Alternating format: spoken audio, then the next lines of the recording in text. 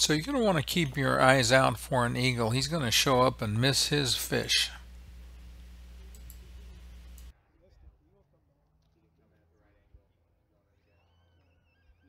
In today's video, we're going to take a quick tour of Ketchikan, Alaska.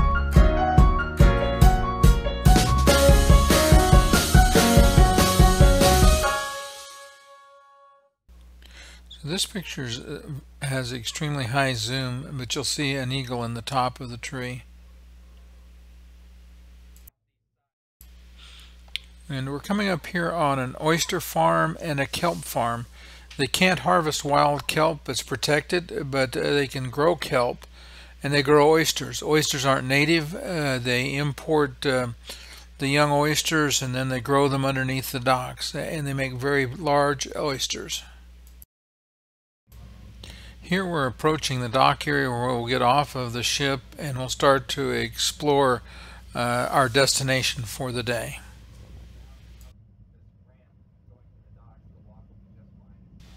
I found some uh, carved wooden bears you'll see here in just a second that I thought were really cute. We're walking on a boardwalk going into the rainforest. I sped the clip up uh, about uh, three times as fast as normal you get a good idea of what it looks like as we're walking in, what um, uh, the trees look like, and everything that's growing in there. The you have to travel on a boardwalk because underneath is muskeg, and it's basically moss growing over uh, holes and pools of water, and so you can't go except on uh, the boardwalk.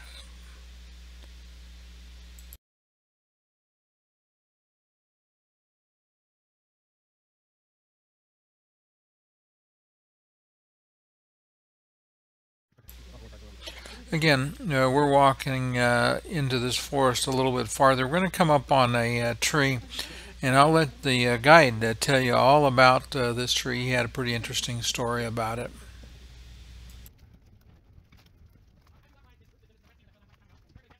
So, remember when I said that last red cedar was a little bit bigger than what you'll see? Well, say hi to Chester. That's what I call it. Um, this is 180 feet tall it is 10 feet in diameter, and the rough estimate for age, we can't get an exact because cedar is too soft of a wood to drill in and do a ring test. The estimate is about 1,000 to 1,500 years old. So very old, very big, very impressive considering how long trees last around here. Uh, for size comparison, if you look at the branch growing off of it, that's bigger than the last red cedar that you just saw in every means.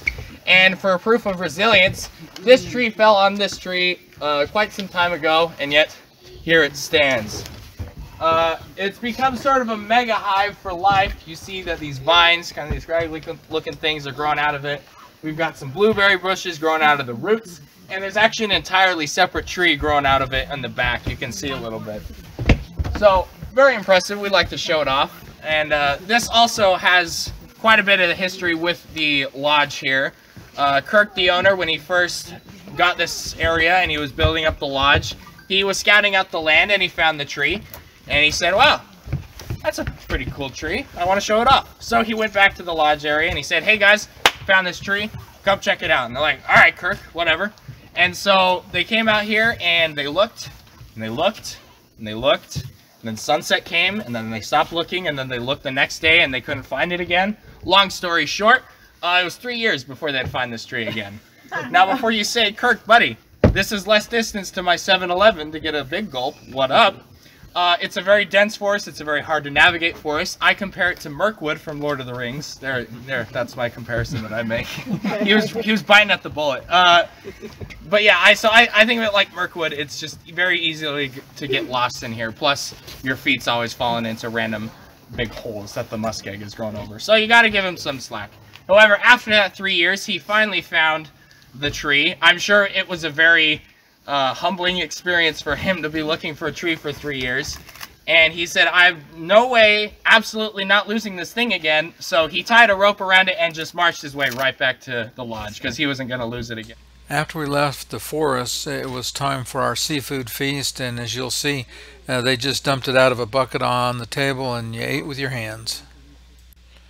My wife was traveling with her wheelchair and so to make it easy for her to get up and down this uh, pretty steep ramp, it moved quite a bit as the tide moved. Uh, they used uh, this golf cart to uh, help her get up and down, which made life so much easier. In just a second, I'm going to pan around and just get one more really good look at this area. It was uh, absolutely stunningly beautiful. We had a really enjoyable time here in Ketchikan, uh, taking a look at uh, at nature and and getting an idea of what uh, it was like in, in the forest area.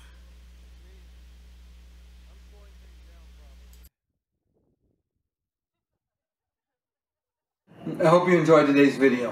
Uh, if you did enjoy, please go ahead and hit the like and the subscribe buttons.